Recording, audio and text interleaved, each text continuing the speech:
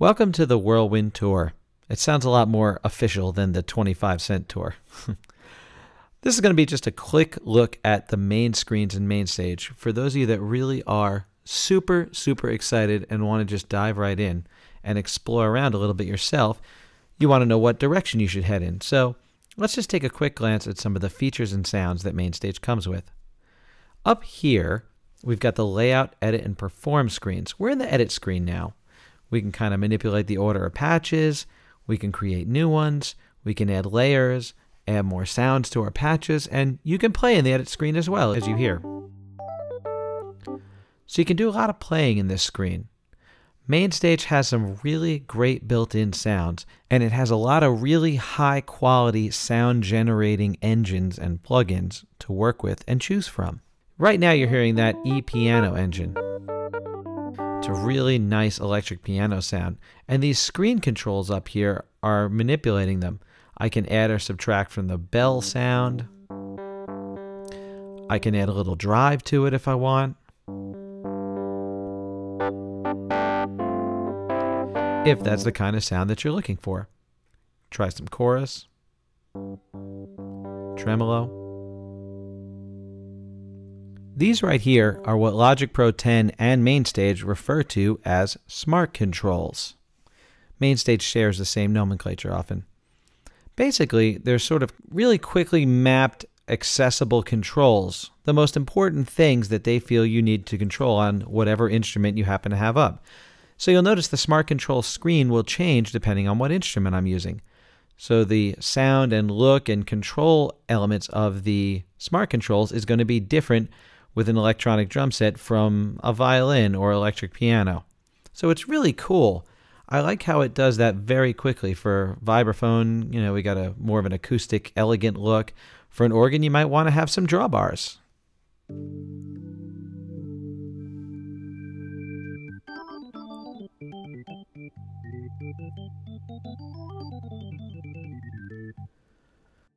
I really like how Apple has kind of made this new smart control paradigm where the most important things are there, but it can also look different depending on the audio engine or plugin that you're using.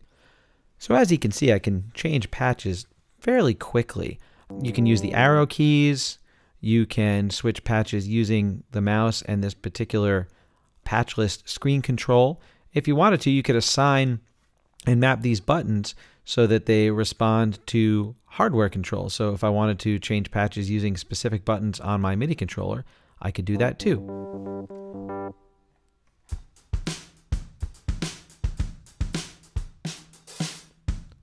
So you see, I can switch right from one into the next without having to use the mouse and click on the screen.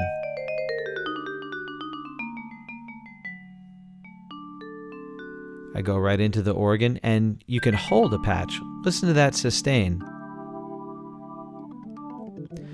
And that's a really neat feature that MainStage offers. I really like that I can hit a chord, hold it on one instrument, switch patches and start playing,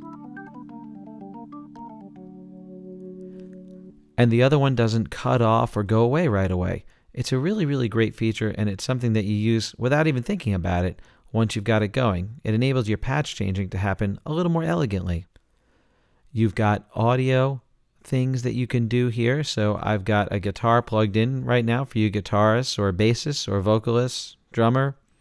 You can run just about any kind of audio through here. I know electronic violinists that use MainStage.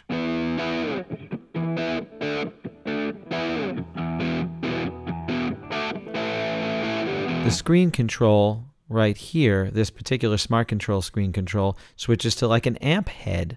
So the things you need to adjust on an amp. So in the middle of a show, for you guitar players out there, you can switch from keyboard to guitar, or if you're guitarist, vocalist, keyboards, vocalist, any kind of combination.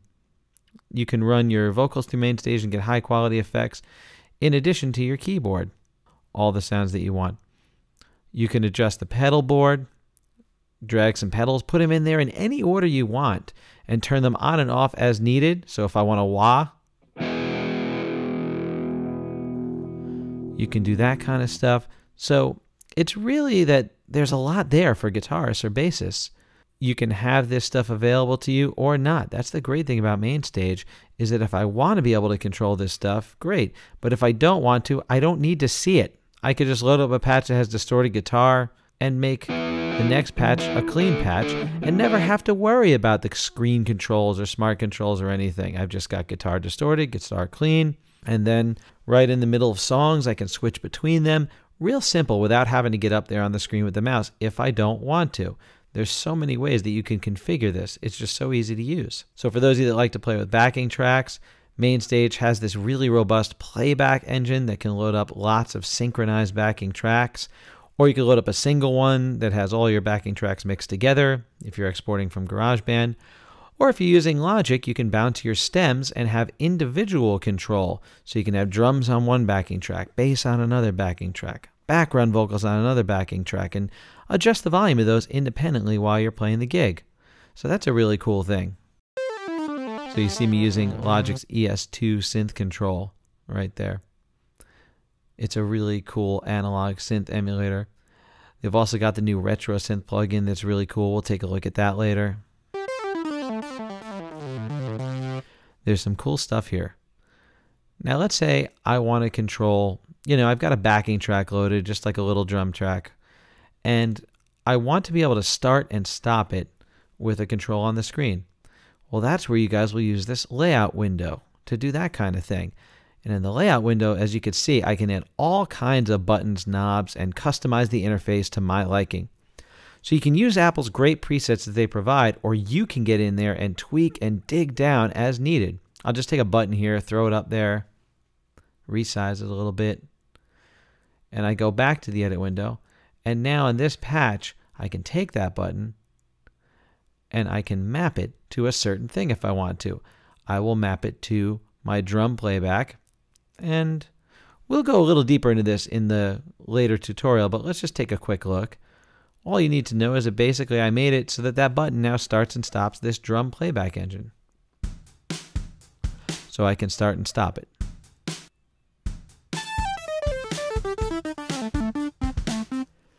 Well, there we go. I can have that starting and stopping multiple things if I want. I can have it starting and stopping the entire complement of 8 or 16 backing tracks all linked together. It's really, really cool to be able to do that. Let's say you put a lot of controls up here and you want to be able to see them all on the screen and you don't want to see all the channel strips and stuff and you just want to play. Well, now that's what performance mode is for. So I'll switch to perform mode. I now am using all of my screen real estate just for the playing aspect of the instrument. You can see those smart controls are nice and large now. If I want any of those smart controls to respond to a hardware knob, that's easy enough to do. I can just click on it, map it, tap a button on my controller, and it's assigned. And now that particular button will control that particular thing. So I can turn compression on. Let's turn it way up so we really hear it. So I'm playing. Turn it on. Wow. And it's really cool. You can even see the gain reduction in the channel strip because the channel strips the MainStage is using is unified. It's the same as the Logic channel strip. So you got that high quality metering available to you. If I adjust the EQ of anything, you know, let's make this a, bit of a real trebly drum set.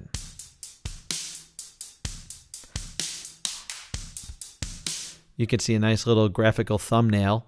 So that's what the edit workspace will do for you. You got your layout and your performance workspace. So all of your three different main modes, and that's sort of the whirlwind tour of all three of them, of all the things that you can look at and do in MainStage.